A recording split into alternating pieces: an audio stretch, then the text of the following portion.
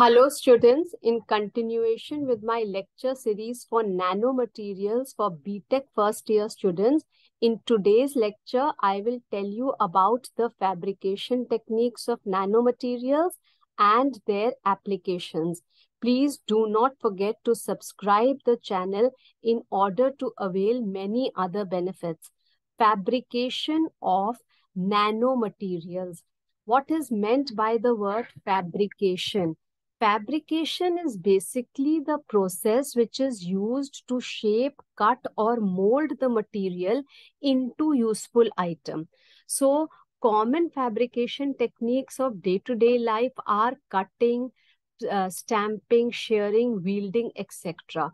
So the morphology and characteristics of nanomaterial depend mainly on their fabrication.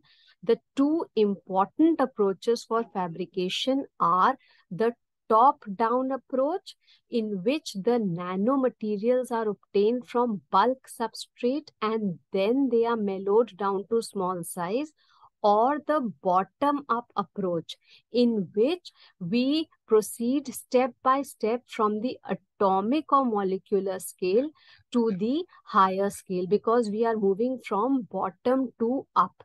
Now, for your syllabus here, see, look at this diagram. Here you can see clearly the top down and bottom approach. See, top down.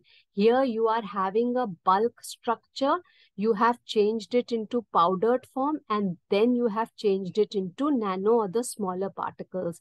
For the bottom up, you are proceeding step by step to get the nanomaterial. That means the atoms or the molecular states have been made smaller in size and then more smaller. So atom or molecules by molecule way. Now the top down approach. One very famous method is chemical vapor deposition. This technique is basically a coating process that uses thermally induced chemical reactions at the surface of a heated substrate with reagents supplied in gaseous form. In this method, nanoparticles are deposited from the gas phase. Material is heated to form a gas and then allowed to deposit on the solid surface. The deposition can be either physical or chemical. Nanopowder oxides and carbides of metals are formed by this process. And lastly, here you can have a look at the diagram along with explanation. Chemical vapor deposition technique. Here, look at this diagram. First step is you take a carbon source and in gas phase or as an energy source and use uh, such as using an energy source as plasma or heated coil to transfer energy into this gas phase. Then use hydrocarbons as the carbon sources including methane, carbon monoxide and acetylene etc. These hydrocarbons are going to float or flow over through the quartz tube being in an oven with a very high temperature.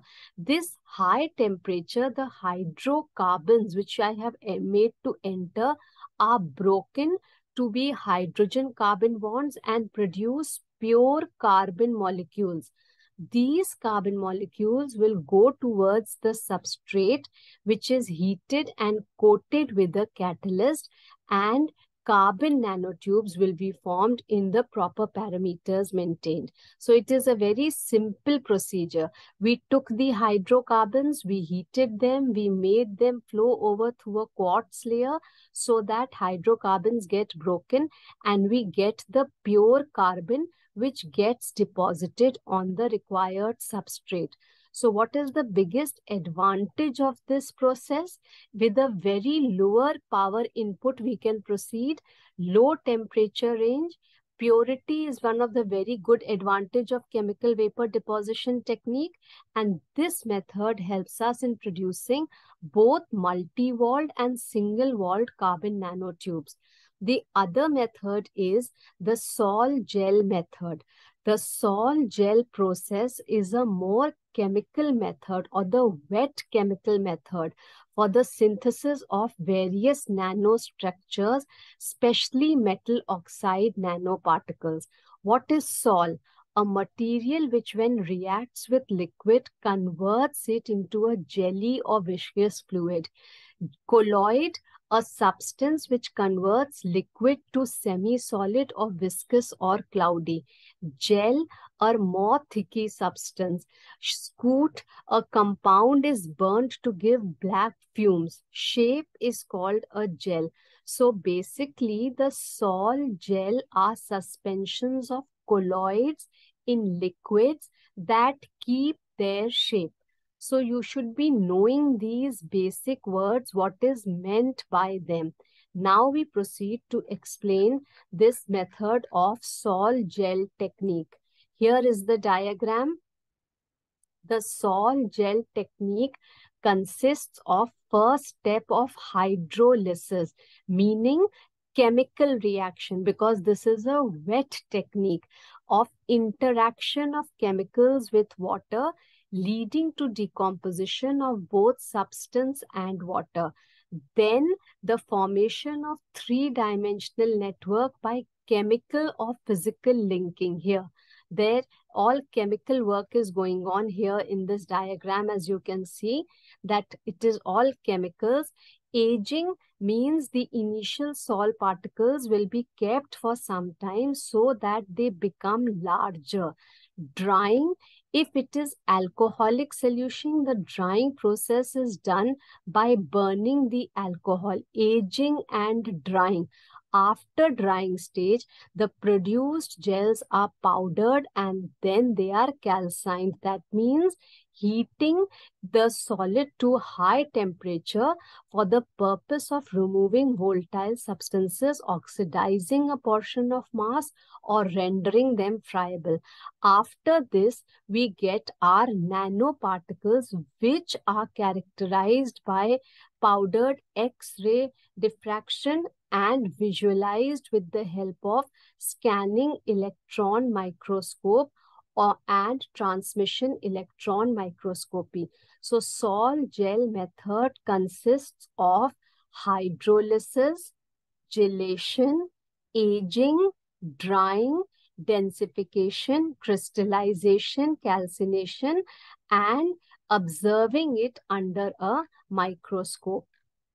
So this is basically a wet chemical method advantages of this process are that it is cheap, can be processed with low temperature, it promises high purity and achievement of uniform nanostructure, producing high quality materials with homogeneity and purity at low temperature.